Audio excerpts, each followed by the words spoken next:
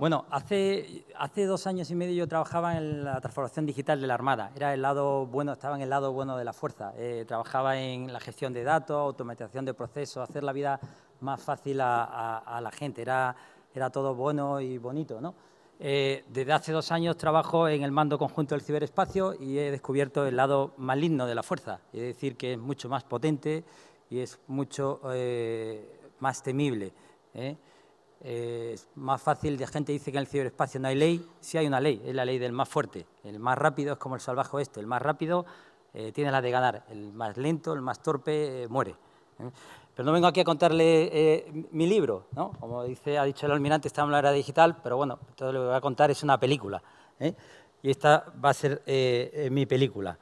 Las operaciones en el ciberespacio en la guerra de Ucrania. Funciona eh, por si alguien se... Voy a dar las ideas fuerza, lo importante para sacar a la película, lo que comentara al salir del cine, lo voy a decir al principio, porque si alguien se, luego se, no le interesa se pierde. Las tres ideas de fuerza. La primera, que el ciberespacio. El ciberespacio, me voy a explicar aquí lo que es. es. es. información, es software, es todo digital, la era digital, todo está en un cero, pero es más que la ciberdefensa, que la ciberseguridad, la telefonía, la internet, la nube, todas las tecnologías que nos permiten eh, comunicarnos digitalmente toda esa información digital. El ciberespacio sustenta todas las capacidades militares, lo ha dicho el almirante, es necesario para las operaciones multidominio. Segunda gran idea, aquí no sobrevive, en esta era digital, no sobrevive el más fuerte, no sobrevive ni siquiera el más grande, que era Rusia, claramente, sino el que mejor se adapte, el más ágil, el que más y mejor innove. ¿Y qué es la innovación? Es una gran idea puesta en práctica. La mejor manera de tener una gran idea es tener muchas ideas. Si tengo miles de ideas, alguna será buena. Y luego que la tecnología, la tercera gran idea, que hoy en día, atrás quedaron los años donde la, eh, eh, investigación militar iba por delante y arrastraba a, la sociedad eh, civil, dijéramos. Ahora la tecnología es dual y voy a poner un par de ejemplos sobre Arta y Uber y Delta, que es como, digamos, el Uber y, el Google Maps de la guerra en Ucrania. Esa foto la pongo siempre, se ven ahí los cinco dominios, eh, la, que más me gusta, se ven ahí los dominios, los cuatro dominios físicos, tierra, mar y aire y el espacio, y luego el ciberespacio. ¿Cuál es la gran diferencia que se ve ahí? La gran diferencia es que en el ciberespacio es el único dominio creado artificialmente por el hombre. Y esta diferencia es fundamental. ¿Por qué? Porque yo puedo conformar el ciberespacio propio. Yo no puedo hacer que la flota enemiga navegue con una mar montañosa y que mi flota amiga o de mis aliados navegue sobre una mar plana. En el ciberespacio sí lo puedo hacer. Si yo tengo control del ciberespacio propio y puedo alterar el ciberespacio enemigo. Eh, como toda la película, hay un flashback. ¿eh? Pues este es el flashback. Me llaman los americanos, lo más importante, delante, arriba y, al principio. Bueno, este es el flashback de mi película. ¿eh? Era el 1 de julio de 1916, al nordeste de Francia, cerca del río Somme. Ese día, después de varias, detrás de semanas de una lluvia intensa de artillería, al toque de silbato, como decía la doctrina y como así habían sido adiestrados durante años, 120.000 valientes con bayoneta calada y al toque del silbato salieron de su estrechena. Marcharon, la gloriosa infantería aliada marcharon en formación cerrada hacia el frente. En minutos, en unas horas, murieron 20.000 personas, casi 40.000 bajas. En los primeros minutos murieron 6.000 personas. ¿eh?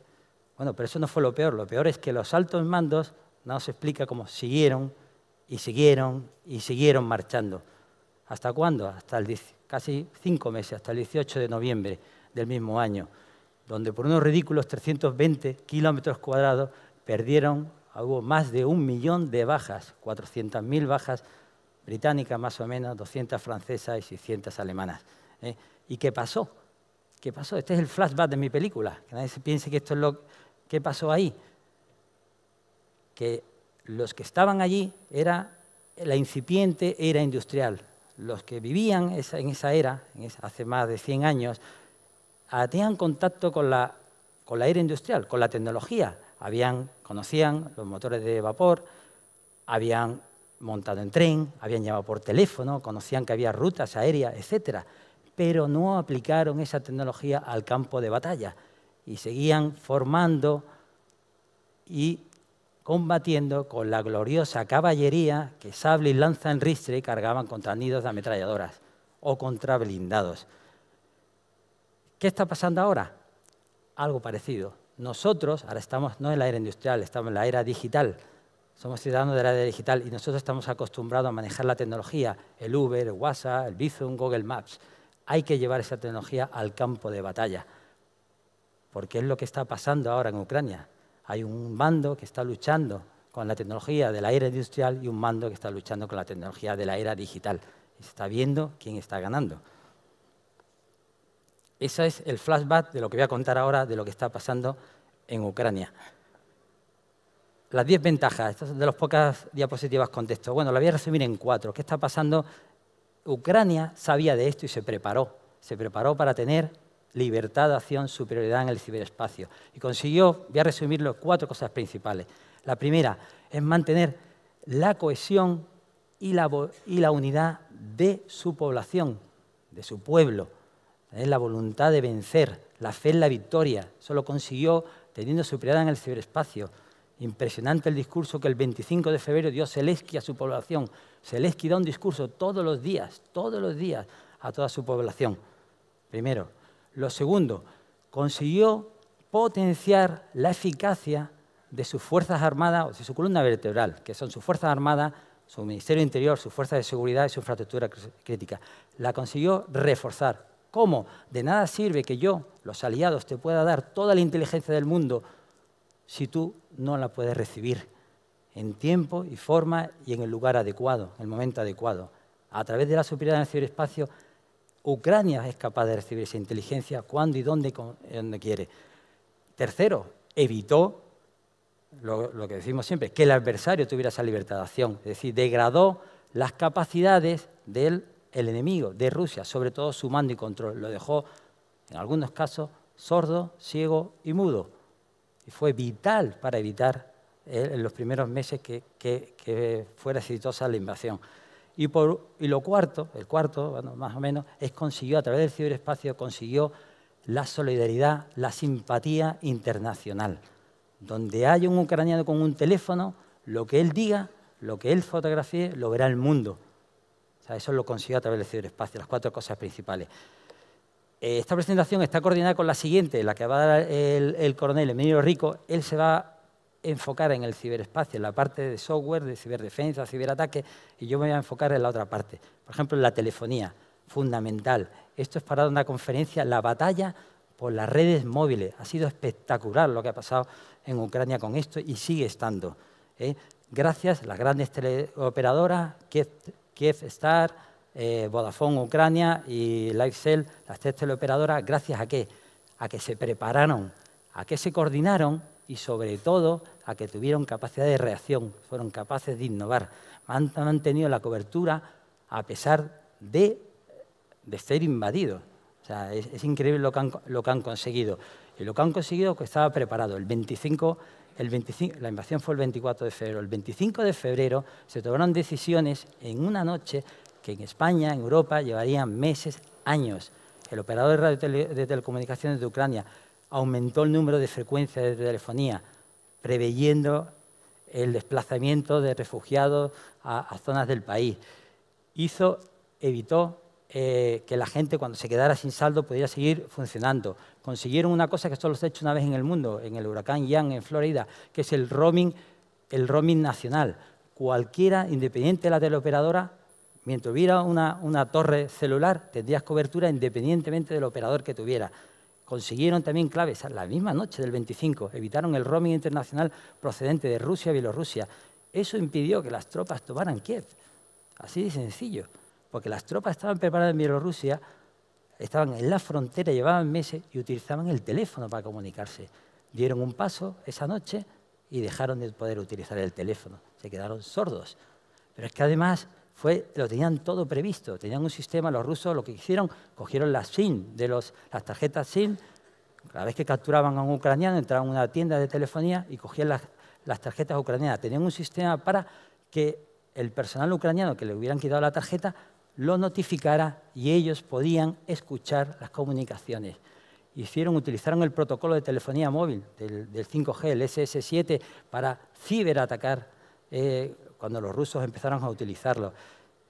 Hicieron, bloquearon cantidad de proveedores de servicios y proveedores de acceso procedentes de Rusia que entraban en Ucrania. Millones y millones de IP bloqueadas. Evitaron SMS que le mandaban los rusos a los ucranianos. Ellos mandaron SMS a los rusos, los que tenían, diciendo las instrucciones para rendirse. Hicieron granja de bots, de SMS, de redes sociales. Impresionante lo que han hecho eh, en, la telefonía, en la telefonía móvil, que es algo destacar. Pero ¿qué ha pasado en Internet? Igual, la gente que pensaba, pensaba cuando fuera la guerra, Internet desaparecería, dejaría de funcionar y nos teníamos que centrar en las redes militares. Pues todo lo contrario ha pasado. Las redes militares degeneraron de ser eficaces, estaban comprometidas, no eran eficaces y la gente, todos, utilizaron Internet. Increíble cómo han mantenido un 80% de cobertura de Internet en un país invadido. ¿Esto cómo se hizo? Con preparación. Ucrania, el Internet de Ucrania lo hicieron 10 años antes. A estos les tomaron, eh, tomaron parte el este, eh, el, Donbass, Crimea en el 2014. De un día, en siete días, Crimea, que era ucraniana, pasó a ser rusa. Todo lo que había allí, la telefonía, internet, centros de datos, sistemas de comunicaciones, estuvieron en poder del enemigo. Dijeron, esto no nos vuelve a pasar. Y en esos diez años que han pasado, han creado una red súper, es como una tela de araña, resiliente, fibras ópticas, cables, eh, radioenlaces, microondas, satelitales. Ucrania tiene frontera con seis países. Sería imposible, es más fácil dejar Ucrania sin electricidad que sin Internet. El 80% de cobertura, lo que han hecho. Internet, la gente perdón, piensa que tener Internet es una tontería, que puedes ver, descargarte Netflix. No, Internet te da geolocalización, te da comunicaciones seguras, multiconferencia, accesos a app, mapas, eh, te da muchísimas cosas Internet. O sea que es, ha sido fundamental.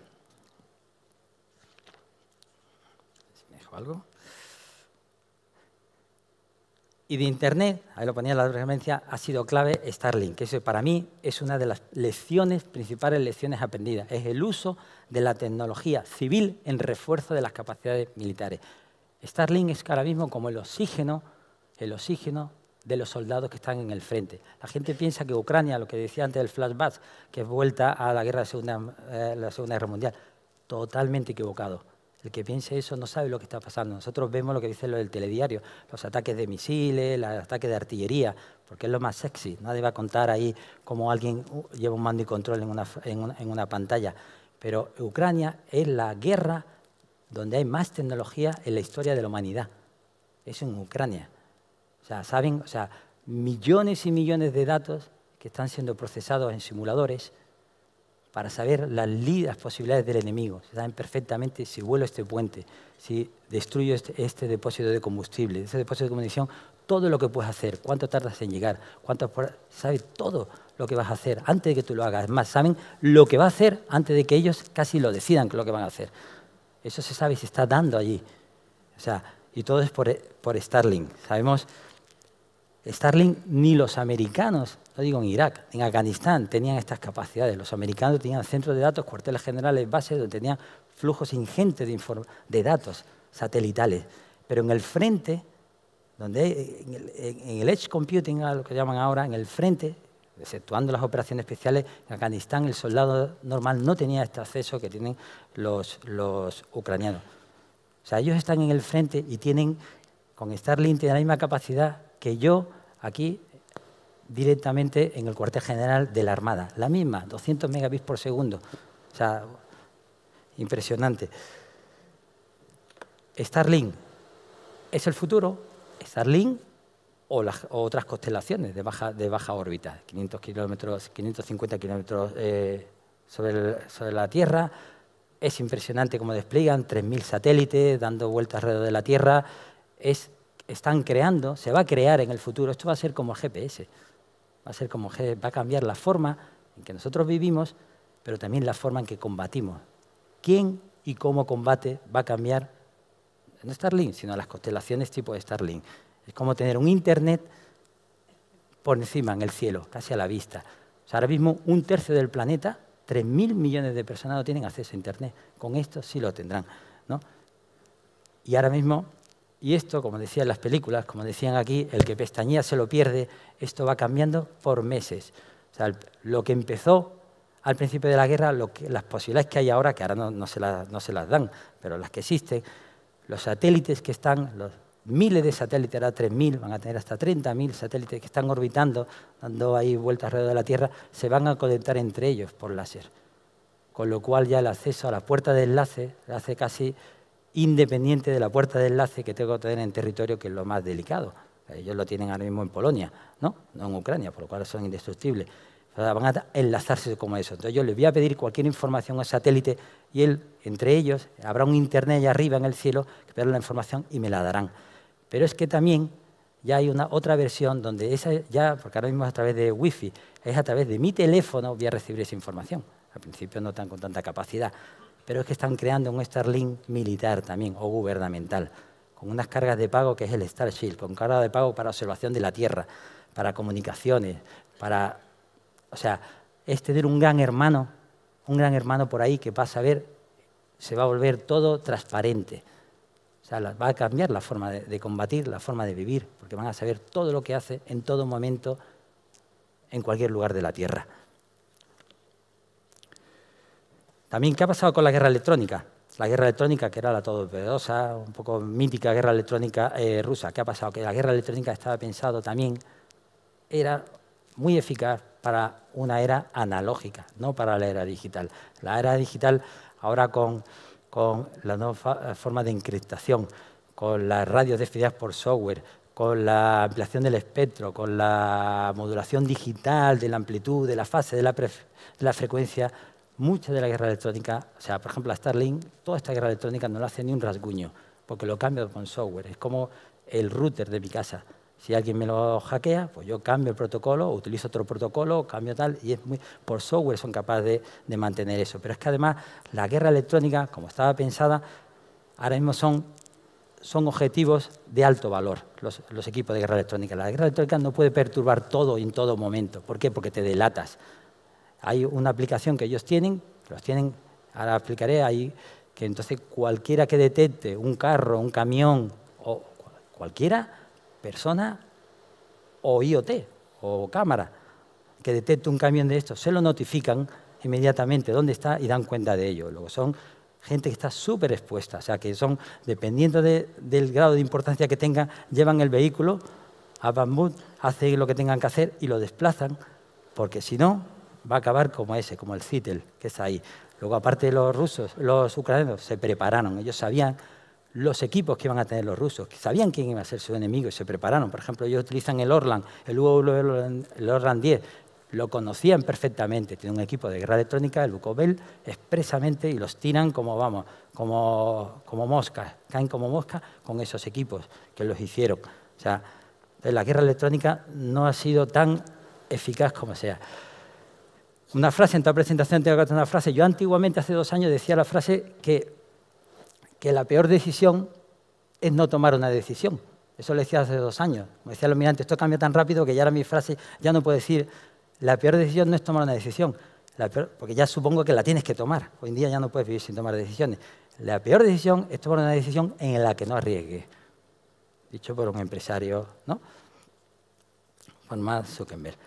También decía que la, decía que la transformación digital era una cosa, tenías que creer Tenías que creer, cambio cultural, la transformación digital, el 20% la tecnología, el 80% la cultura, el 100% las personas. Pero tenías que creer, ahora ya ha cambiado, ya no tienes que creer, tienes que verla. Porque hay que ver, es que tienes que abrir los ojos, verla.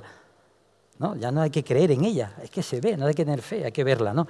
Pues bueno, nosotros en esto, este, nosotros estudiamos, nosotros de mi generación, generación los boomers, estudiamos a Clausewitz, Napoleón, Sun Tzu, Mahan, Dewey, etcétera nuestros hijos estudiarán a este señor, este señor. Este señor es, es un señor, 31 años, el ministro más joven de Europa, generación Z, nació en el 91, es Mikhailo Fedorov, viceprimer ministro y ministro de Transformación Digital de Ucrania.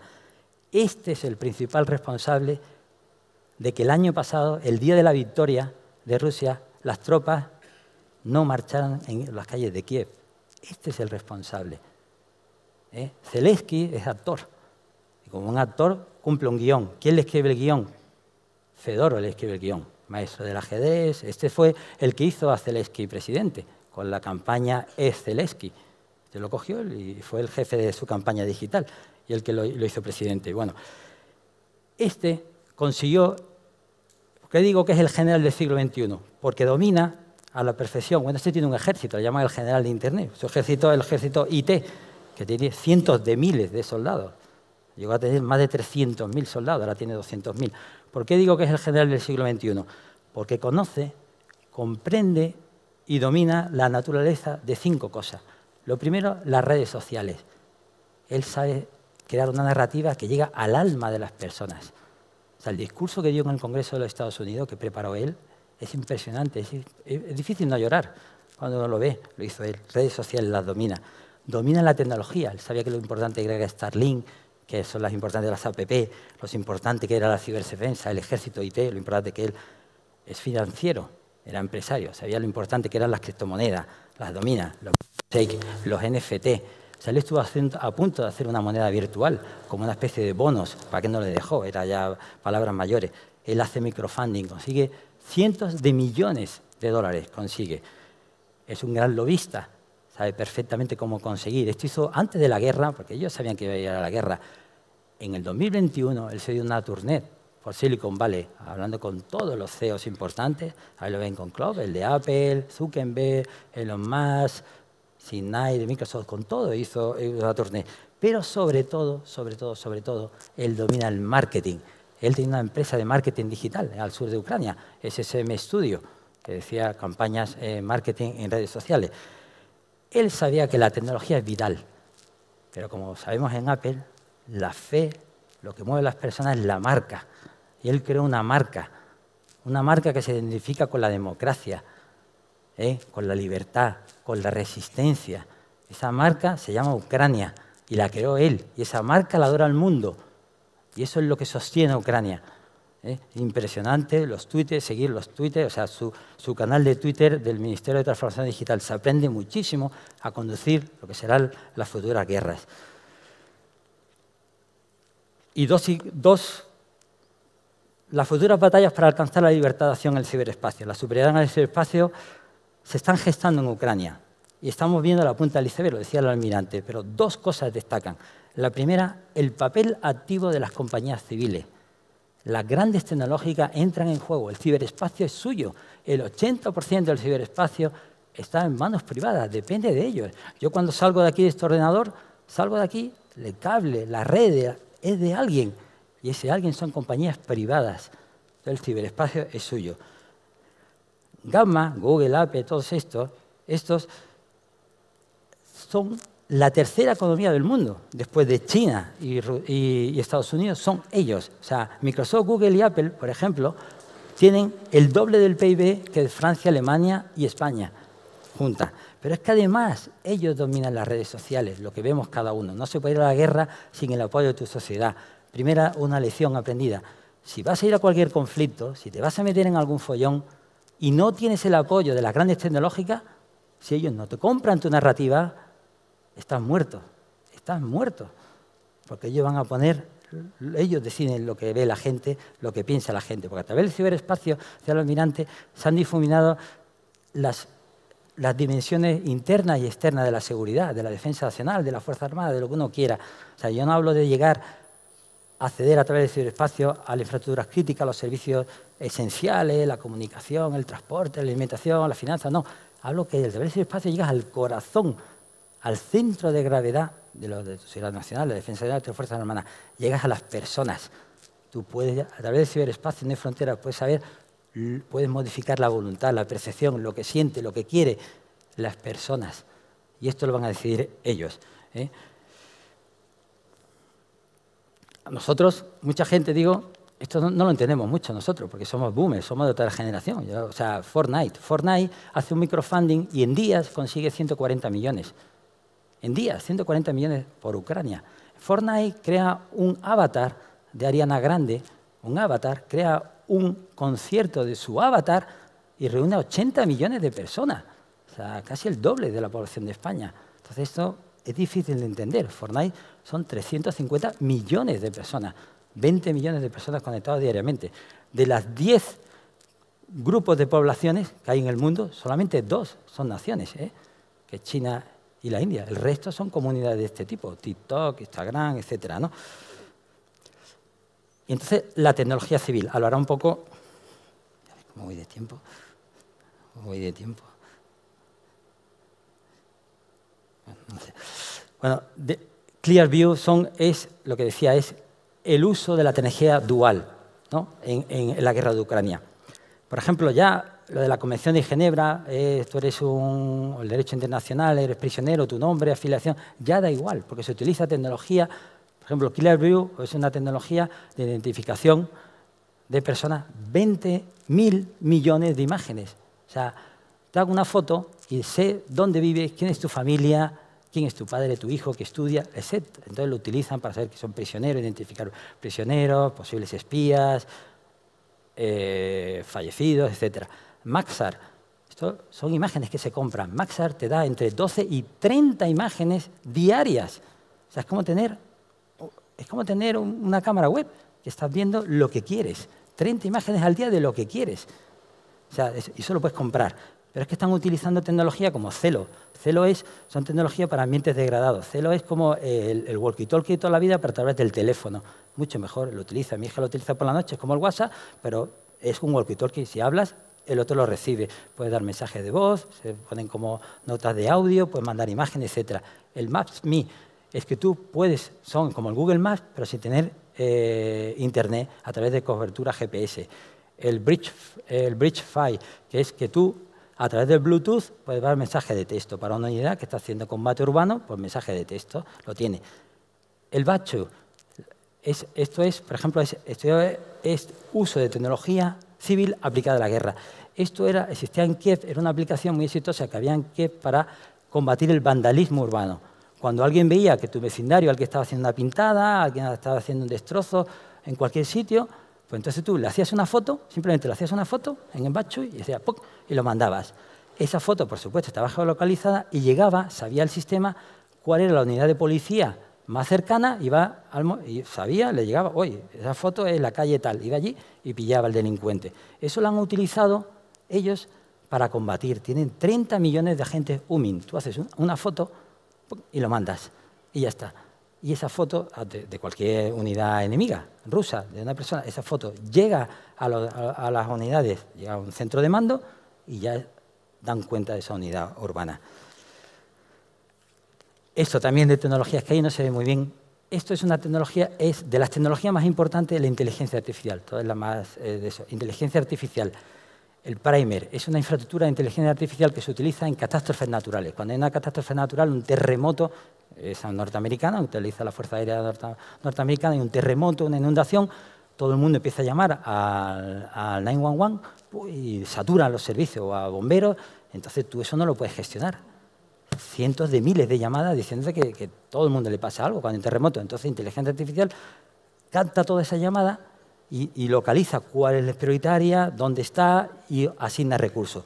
Esto lo están utilizando, como esto es un, Ucrania es un banco de experimentos, lo están utilizando los ucranianos. Entonces, ¿qué hacen? Antiguamente, pues yo lo he vivido, se grababan las comunicaciones del enemigo y alguien, en, el idioma en ruso, digamos, alguien tiene que escuchar la cinta durante dos horas, escucha la cinta, lo traduce, se lo da a un analista, el analista tiene que hacer un resumen para que lo vea otro analista más eh, senior, vea si es importante, sacar las conclusiones, llega al centro de fusión de inteligencia y luego llega a los operativos, al frente. Cuando llega ya es tarde, tarde y mal, ya no está ahí el enemigo. Esto lo hace automáticamente, captura por software, replica la radio, captura la conversación en Internet, es la prueba. Se ve dos horas de una conversación entre unos rusos, no se entiende nada, mucho ruido, tal, que están hablando, es una unidad de blindado ruso. Entonces eso limpia el ruido, o sea, lo digitaliza la conversación, limpia el ruido, lo traduce al idioma y te hace un resumen, hace muchas cosas, pero hace un resumen que se lo dan a la lista. Mira, está pasando esto, te lo localiza. Te dice qué unidades están involucradas, si hay alertas de, si hay, hablan de alguna persona que sea de interés, un blanco de interés. te dice dónde están, te los localiza y luego te dice, lo más importante, el call for action. Te dice qué acciones van a pasar y dónde van a pasar y cuándo van a pasar. Pero es que además tú, como un feed, tú te afilias al feed y te llegan las alertas al móvil. Oye, en esa intersección de Príncipe Vergara tal, están hablando que van a hacer esto. O sea, te llegan esto automáticamente, sin utilización de nada. O sea, esto es una ventaja espectacular. ¿Cómo se hace esto? Gestión del dato, lo hemos hablado mil veces en transformación digital. El que está ahí con Zelensky y con Fedoro es Alex Karp, es el CEO de Palantir, es el CEO que más gana en Silicon Valley. Es Palantir. Palantir es el unicornio de la gestión de los datos en la defensa. O sea, esto es como el Amazon, pero para la defensa, Palantir. Ellos, Ucrania, todo esto vale, gestión del dato, tú tienes que identificar. Fedoro creó este sistema que se llama DIA, el Estado y yo, que es que o sea, Ucrania va a ser el Estado más digitalizado del mundo. ¿eh? Cuando acabe la guerra, cuando acaben esto, pues ellos ya están pensando cuando acabe, por supuesto, va a ser más que Estonia. Estonia es chiquitito, un millón y pico de habitantes, pero esto es el más digitalizado. Casi el 90 y pico de los servicios van a ser digitales y se basan en la plataforma de autenticación con el móvil. Ellos tienen una base de datos biométrica de sus ciudadanos, la manera de autentificarse y comprobar. Pues a través de eso utilizan un montón de apps. En Apple Store hay dos millones de apps, dos millones. Entonces ellos han utilizado, las que le han interesado, la han utilizado para la guerra. ¿Por qué? Porque tenían una base industrial. Y Ucrania eran, aparte que Ucrania eran los listos de la Unión Soviética, en Ucrania había casi cientos de miles, me acuerdo ahora el dato, de gente contratada por Israel, gente contratada por Huawei, por Google, eran ingenieros informáticos. La base industrial informática de Ucrania era súper potente, porque era mucho más barato desarrollar en Ucrania que en Israel. Entonces, ellos han utilizado todo ese conocimiento para esas aplicaciones que utilizan. Por ejemplo, aplicación de observador de defensa aérea. Te descargan la app, por supuesto, lo primero, tienes que estar autentificado para la ciberseguridad. La tecnología, si no es segura, ¿no? ¿Eh? como la potencia sin control, no sirve, es casi peor. ¿no? Se autentifica, tú ves que viene un dron, un helicóptero, un avión, un misil, le haces una foto, lo mandas y eso se pone en el mapa, luego lo explicaré. Minas, todo eh, el país está lleno de minas, es peligroso. Un sistema que te avisa cuando te acercas a una mina, te avisa, te dice lo que tienes que hacer, notifica la mina. ¿Dónde está el enemigo? Si el enemigo está en, eh, Retamare o está en Kinépoli y ahora se están retirando, todo lo tienen ahí es impresionante cómo la utilizan. Médicos, recursos críticos con los médicos. Nosotros hablamos telemedicina, tal. Ellos cogen, tienen una aplicación que se descarga en Apple Store, tienes que ser, tienes que identificarte antes en día, ¿no? yo no la puedo hacer, ¿no? Pero tienen un chat. O sea, tú, la gente muere desangrada, la mayoría, ¿no? Está muriendo desangrada. Pues, ¿cómo, cómo hacerlo? Pues tu compañero está desangrado, tú no sabes qué hacer. Bueno, primero que hay muchas horas que están en las trincheras, pueden hacer cursos y aprender, pero no telemedicina, pero haces una videoconferencia con alguien que está ahí y puede salvar vidas. O sea, con un chatbot que te va diciendo lo que, va, lo que tienes que hacer. Como tal, hay, es impresionante. Ya las dos últimas. Esta es el Uber de la artillería, las dos gordas. O sea, de todo esto, dice, por ejemplo, voy a contar el Uber y el Google Maps de, lo que están utilizando en Ucrania. Esto es impresionante. Esto, los americanos están alucinados con esto. Esto, esto lo llevaban años desarrollándolo y ahora lo han eh, mejorado y han tenido mucha ayuda internacional, gratuita. Antes no tenían dinero, ahora les sobra el dinero, recursos, ayuda. Es el Uber de la artillería. ¿Cómo funciona el Uber? Es muy fácil. El Uber, yo estoy en casa, quiero un Uber, aquí en la puerta, yo digo, solicito un servicio para ir de aquí a Retamare. Me dice todos los Uber que hay en la zona y me ofrece una serie de servicios. Quiero una limusina, quiero uno con, para eh, tipo de coche, lo que etcétera. Yo cojo el servicio Viene él, monto el servicio, o sea, lo acepto, él lo acepta, él viene, cumplimos el servicio y luego hay una valoración, un damage assessment. Pues es lo mismo, parece muy sencillo Uber, pero es que detrás de Uber hay una inteligencia artificial bestial. Se llama Michelangelo, por eso Uber es la startup más valiosa del mundo, 90 mil millones de dólares. Es por la inteligencia artificial, que sabe perfectamente cuánto cuesta ese servicio, qué ruta tiene que hacer, te identificas hasta el que, el que se ha pedido el Uber está borracho, ¿no? En Estados Unidos te lo saben, por cómo has tecleado, la hora que es, la zona que es, etcétera, te lo dice todo. Pues esto es lo mismo. Es un sistema que da comunicación y cualquiera que detecte un objetivo, una unidad de operaciones especiales, un dron, un avión, una chica que pasa por ahí, cualquiera detecte un objetivo, lo notifica al puesto de mando, a través de satélite, de Viasat, de Starlink, como sea, lo notifica, esto le llega y, y, le da un servicio. Él sabe dónde están sus piezas de artillería y dice, pues este servicio lo mejor es batirlo con esta. Incluso bate con dos a la vez, para time on target, diferente, tal. Dice, este es el servicio que voy a dar, el este. Te, lo propone, evidentemente, tú lo aceptas, tú propones ese servicio y se cumple. Luego te da el la CM. Es lo calcula automáticamente, porque esto es de artillería, lo está hecho por artilleros. Los rusos que han cogido alguno todavía estaban con, las tablas de cálculo para disparar, con, eh, tienen que meter la temperatura, la humedad, esto te lo hace automáticamente. Te dice, tira y te da. Es impresionante ver a los HIMARS cómo entran, ellos, ellos llegan, aparcan el camión, ponen el lanzamiento, se contacta Starlink, Starlink a veces automáticamente, si no, en las coordenadas por teléfono, le dicen, pum, mete las coordenadas, disparan y se van. No saben ni a dónde han disparado, pero han disparado exactamente en el sitio, porque lo importante, todo lo que vemos, o sea, es, es, lo que decía, esto no es la guerra de que antes disparaban mil disparos y alguno daba, aquí estos no tiran, dan, suelen dar, los otros son muy listos y también van, ¿no? La infraestructura que utilizan, es, ahí es rugerizada, es todo dual, estos son antenas de Viasat y es todo eh, con tablets, con teléfono, con smartphone y tal. Estos ven como ven los UAV. Los UAV es un centro de mando en, en, en, desde hace poco. Los UAV, ellos cogen y está el tío llevando el UAV, lo lleva contra, con, una tablet o con un smartphone grande, va llevando el controlador UAV, va viendo el UAV, va viendo lo, lo, que ve el UAV, lo ve aquí. Pero el que lo vea el operador del UAV es, eh, no es relevante, pero lo importante es que lo vea el puesto de mando para que asigne tal.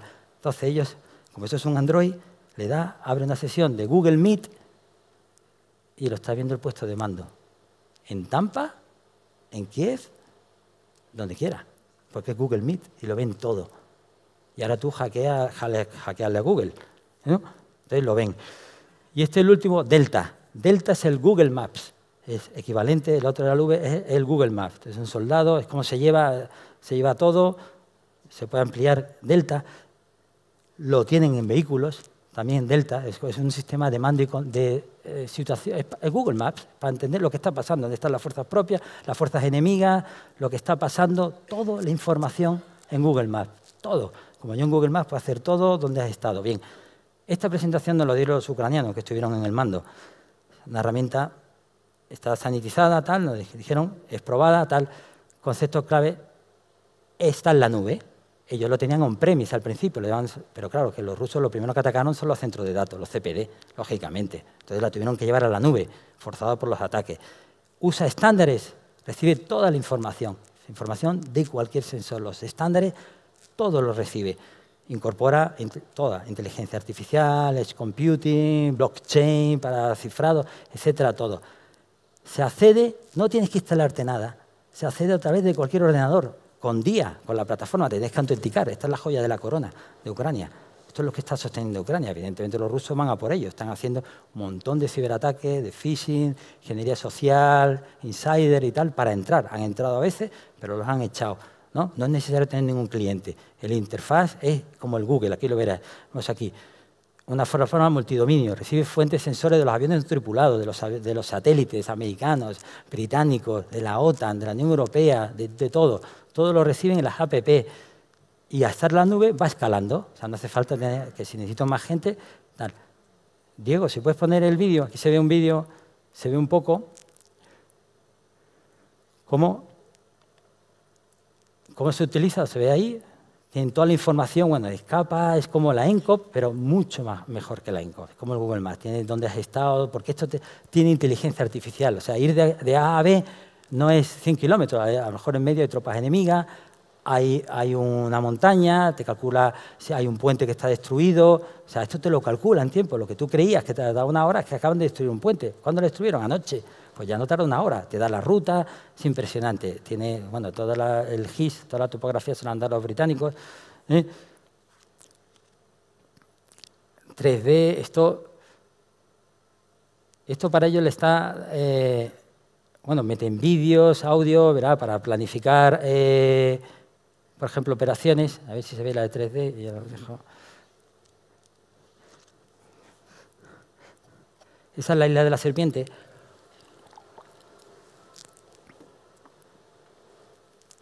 Que la,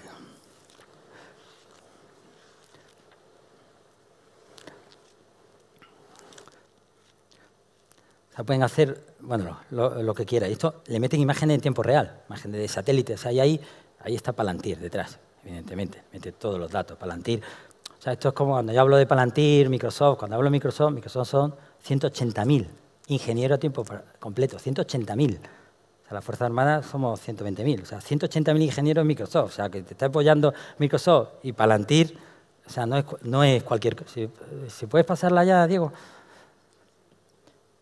La siguiente, ah, bueno, le doy yo, a ver. Delta, bueno, eh, UAV, tal, nada, bueno, esto paso. Y esta, bueno, este vídeo, esto es el empleo de inteligencia artificial. Esto es lo que explicaba antes, pues ahora verlo, esto nos lo enseñaron los, ucranianos. Esto es una cámara de televisión, como la que puede haber en la carretera de Retamares, ahí en Quirépolis. Una cámara de, si le das al vídeo, por favor, es una cámara de, de las que hay miles por el país. Entonces, cuando la cámara va detectando, tiene, detecta, cuando nos lo dijeron había 14 tipos de vehículos por inteligencia artificial, te detecta 14 tipos de vehículos, te lo va detectando y te lo va poniendo en el mapa, en Delta. Y te dice, oye, por la carretera Retamare están pasando esta gente, está pasando esta gente, y te lo pone por ahí. Tú ya sabes, esa información está ahí metida, y tú ya sabes que estos, pues, dentro de dos horas estarán en Bodilla, y dentro, o sea, estos no te van a atacar eh, a Toledo, hoy, porque no llegan, porque van por retamares y van a la dirección tal, lo saben, saben el tipo de vehículo, el tipo de, de, de, todo. Pero es que además toda esta herramienta tiene todas las herramientas colaborativas, chat, voz, etcétera. Es que ahora se ve ahora en el vídeo como todo esto, que esto no es tenerlo por tenerlo, es inteligencia operativa, le da la alerta al que está en retamares, a la brigada que está en retamares, oye, te están pasando por ahí, y se la dan. ¿Puedes pasar a la siguiente? ¿Ya? Ya paso. O sea,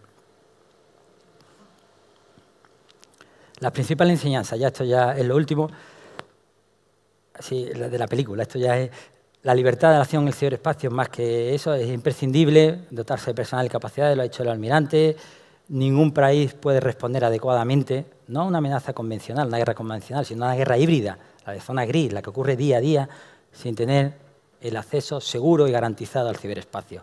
Eso es, vamos, ya eso ya no digo, no hay, que creérselo, hay que verlo. Pensar, cuando no hay internet, la gente se acuerda de Santa Bárbara cuando truena.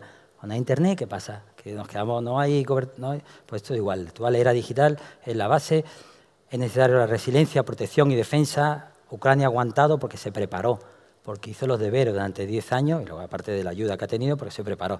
Necesaria la colaboración civil-militar en el ciberespacio, la colaboración es la palabra clave. Nadie es tan grande que nadie puede asegurar nada la tecnología civil mm, ya no puedes crear ya de la nada, tienes que valerte la tecnología civil. ¿no? Eh, los teléfonos serán las grandes, em, ¿no? las empresas tecnológicas, los activistas, que luego lo traga Emilio, eh, y hace falta un sistema. Cuando tú, es un ámbito de las operaciones, yo para tener un ámbito tengo que operar en él, tengo que tener una capacidad. La capacidad tienes que tener personas, doctrina, infraestructura, pero tienes que tener tu sistema, tu arma. O sea, esto no funciona de la nada. O sea, y hace falta tener un sistema integral y conjunto que permita al conjunto de las Fuerzas Armadas operar en el ciberespacio y apoyar al sistema de seguridad eh, nacional en este ámbito. ¿no? Lo que dijo, en el futuro, bueno, en el presente ya todas las operaciones son multidominio, todo está interconectado, eh, relacionado, el control del ciberespacio se repitió, e igual quien domine el ciberespacio y la limite, ¿eh? la libertad de acción del oponente dominará la contienda y ya esta es la última ya, esto de que acaba la, de señalar los créditos, eh, yo me gusta dar charlas en, en, la Escuela de Estado Mayor de las Fuerzas Armadas, en el CSDEN allí, porque están los, los, jóvenes oficiales, ¿no? los comandantes ¿no? y capitanes de corbeta. Y me gusta darlo porque siempre le digo, he ido ya varios años, digo, ahí sentado, aunque aquí sentado de ministro y secretario de Estado y tal, pero digo, ahí sentado seguro están los próximos AGEMAS, GEMES, eh, GEMAS, Gemat, está ahí sentado seguro. me gusta porque digo, ven mi película y les cuento tal, creo que tal, ¿no? Entonces, una vez, una, en verano pasado, preparando la conferencia, digo, a ver, si tuviera el final de la película, si tuviera, yo, bueno, ya tengo muchos trienios, ¿no? Ya, y, miles de conferencias, miles de cursos, miles de tal. digo, si tuviera que dar una, una, una traspa, eh, solamente tengo tiempo para una traspa, ¿cuál elegiría? Y lo pensé, lo pensé mucho. Ah, vine, fue, cogí el curso de que hice en Estados Unidos, el Naval War College, todas las conferencias, grandes pensadores, senadores, tal. Y esta fue la que decidí.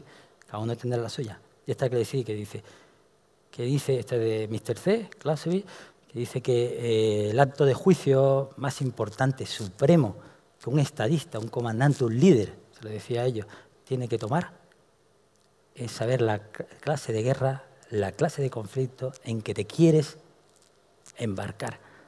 Yo creo que Putin era una persona muy lista, era muy lista, ¿eh? pero cometió el gran error de su vida, que fue la invasión de Ucrania. ¿eh? Y que él y su pueblo pagarán mucho, un alto precio por ello. ¿Por qué? Porque cuando te metes en una guerra tienes que saber si vas a luchar, la guerra es contra un ejército, es contra un gobierno, es contra el pueblo, es contra el mundo o es contra un ideal. Y esto es lo que ha pasado. Y ese error lo pagarán muy caro los rusos. Y muchas gracias.